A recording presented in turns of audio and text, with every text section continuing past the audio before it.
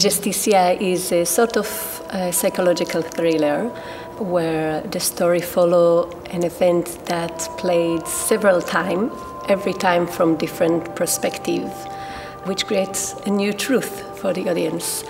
It's in essence a piece about the concept of guilt and the notion of justice. So the story follows a crime case when a character, Mimi Kim, accused of killing the best friend of her husband.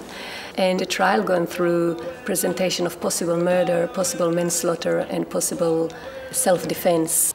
Objection! And the audience in this piece set in a position of a jury, so re- keep receiving different information that could potentially contradict each other. If we could only replay those ten minutes, my client would not be guilty of murder. What do we trust? Do we trust our eyes, what we see, or do we trust our ears, what we hear? I like the audience to take questions away, only questions, um, never answers.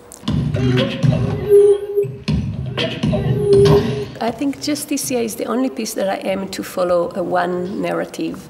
And although within this one narrative there are very there are few possible stories, there are few possible alternatives to what could have happened.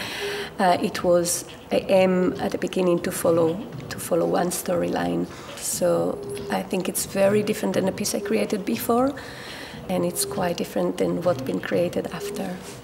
The movement vocabulary is quite rich and quite eclectic, and it's extremely physical, as in most of my work, but it's quite balanced with the amount of text because it's a full script. There are almost 30 pages of script. The first period of development for Justitia was at the National Theatre Studio, and I worked with a scriptwriter called Rebecca Lenkiewicz.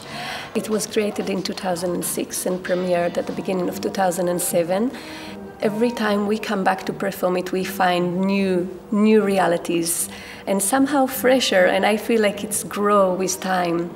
So I'm very excited to bring it back. I'm very excited in my 40s as a mom to come back and perform it again because for me, it's, it, I haven't been performing for a few years now. So I'm very lucky that I have that opportunity to do it.